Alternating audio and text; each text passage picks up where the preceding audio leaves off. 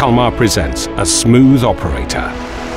Kalmar's first ASC terminal became operational in 1990 at the ECT Delta terminal in Rotterdam, and it's still seen as the industry benchmark. Our ASCs are now the mainstay of many terminals around the world and are known for their reliability and consistently high levels of performance, which has become increasingly important with larger ships and increased efficiency demands terminal operators can achieve higher levels of stacking density and with fully automated operations, safety levels are greatly increased for operational personnel.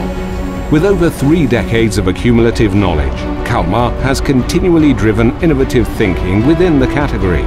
Now, Kalmar has taken this world of knowledge and applied it to our new range of RMGs. Which is why we say our ASCs now come with wings. Introducing the new Kalmar RMG. Every new Kalmar RMG is built to your exact requirements and will fit into your current operations and infrastructure with ease. They can work seamlessly with Kalmar mobile equipment or horizontal transport in both shipping or intermodal terminals, streamlining the flow of containers around your yard. All Kalmar RMGs are automation ready and can form part of an end-to-end solution for your operations. The investment you make today in a new Kalmar RMG is an investment made in the future of your business.